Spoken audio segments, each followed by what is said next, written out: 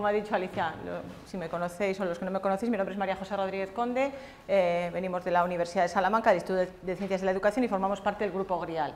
Este proyecto que presentamos en esta comunicación es un proyecto europeo que justamente termina ahora este mes, eh, ha llevado dos años, es un proyecto del programa de aprendizaje permanente, el antiguo convenio es actualmente Erasmus+.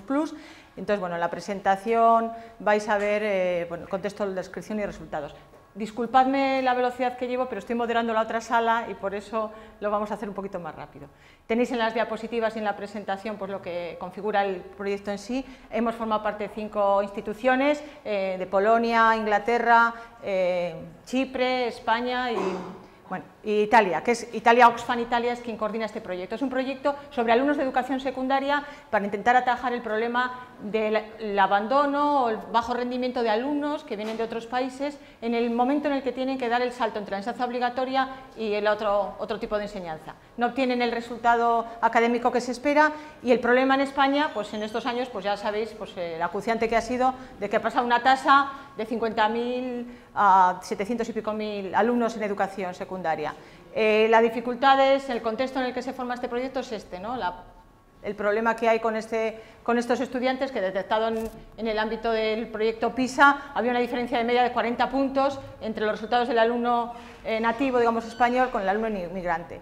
El, contexto del trabajo también está en el ámbito de lo que se llama la educación intercultural, ¿eh? que supone no solo la integración del estudiante o del niño o del adolescente de otro país, sino que también supone una autorreflexión para las personas del propio país, el, trabajar en esta diversidad y el asimilar bueno, una reflexión sobre lo que es la cultura y el trabajo entre todos, ¿no? el compartir. Eh, para, entre comillas, una herramienta para solucionar o para paliar este problema dentro del ámbito de la educación secundaria que lo podemos transferir al ámbito universitario a otro nivel, es trabajar en una herramienta que se llama la mentorización entre iguales, ¿eh? entre pares, que consiste, ya sabéis, en que una pareja de, estudiantes, un estudiante de, un alto, de otro nivel con un estudiante asimétrico, ¿no? Eh, extranjero, con el apoyo del profesorado, que esto es lo importante, eh, trabajas bajo este, este contexto. Los objetivos que tiene el proyecto los tenéis ahí, los tenéis también marcados en el proyecto. ha pasado por un...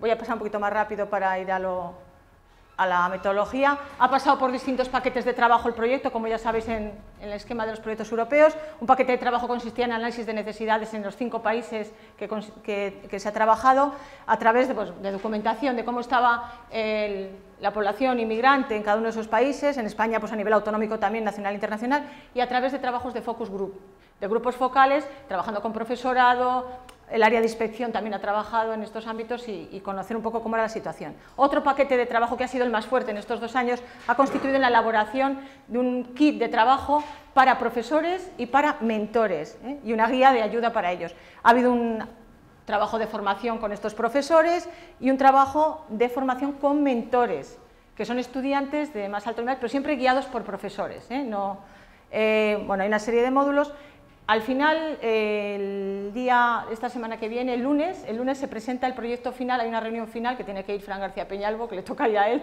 a Florencia, donde se presenta, donde se presenta ya el cuaderno guía, el kit de profesores, el kit de mentores, bueno, un tema que ha habido de trabajo de seguimiento del proceso, un diario de sesiones, los cursos de formación. Se presenta en Florencia porque bueno, el coordinador es, como os decía, Oxfam Italia y allí es donde digamos, se ha originado más todo el trabajo de elaboración de proyecto. Está traducido a todos los idiomas de los cinco países que intervienen y eh, en este momento el kit ya está disponible, aparecerá en página web del proyecto próximamente.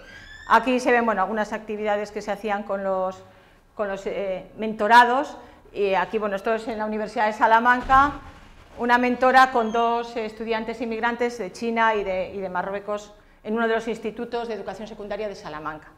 Eh, evidentemente hay un módulo de evaluación del proyecto, lo que pasa es que esto tengo que decir que no está demasiado desarrollado desde mi punto de vista. Donde se enfoca el proyecto es en la elaboración de los materiales en este momento.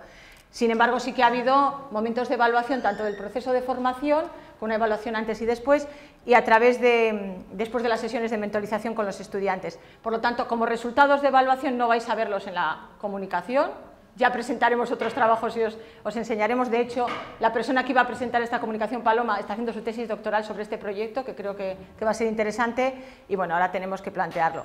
Podéis ver algunos de los resultados en la lectura la, y como conclusiones os podéis imaginar bueno, que la herramienta de mentorización entre iguales, igual que pasa en el ámbito universitario, que muchas universidades ya tenemos esos programas de mentorización de entre iguales entre estudiantes de fin de carrera con estudiantes, aunque no sean inmigrantes, o a veces con Erasmus, ¿no? se hace también, en el ámbito de la educación secundaria se ve como una solución bastante importante. ya se está haciendo en comunidades autónomas, eh, es una de las herramientas que más se utiliza, lo único que eh, la ventaja que tiene este proyecto es compararlo, una misma metodología utilizada en varios contextos, en distintos países, con distintas eh, variantes en la aplicación, pues está dando buenos resultados.